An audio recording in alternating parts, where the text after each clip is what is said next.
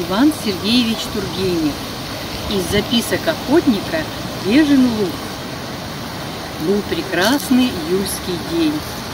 Один из тех дней, который случается только тогда, когда погода установилась надолго. С самого раннего утра небо ясно. Утренняя заря не пылает пожаром. Она разливается кротким румянцем.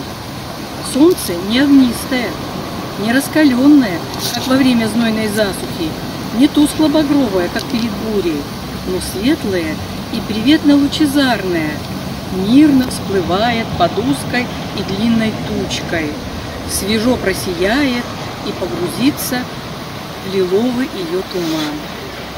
Верхний тонкий слой растянутого облачка засверкает змейками. Блеск их подобен блеску кованого серебра.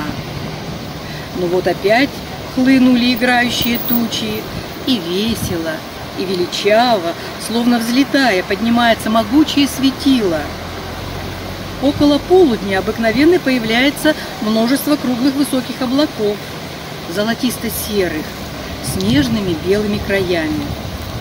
Подобно островам, разбросанным по бесконечно разлившейся реке, обтекающей их глубоко прозрачными рукавами ровной синевы, они почти не трогаются с места.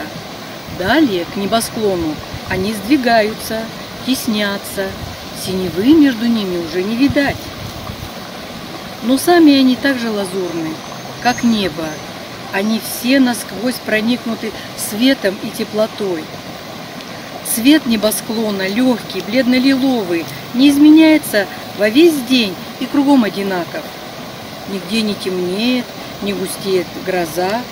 Разве кое-где протянутся сверху вниз голубоватые полосы, то сеется едва заметный дождь.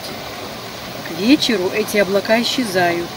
Последние из них, черноватые и неопределенные, как дым, ложатся розовыми клубами напротив заходящего солнца. На месте, где оно закатилось, так же спокойно, как спокойно взошло на небо, алое сияние стоит недолгое время над потемневшей землей, и, тихо мигая, так бережно несомая свечка затеплится на нем вечерняя звезда.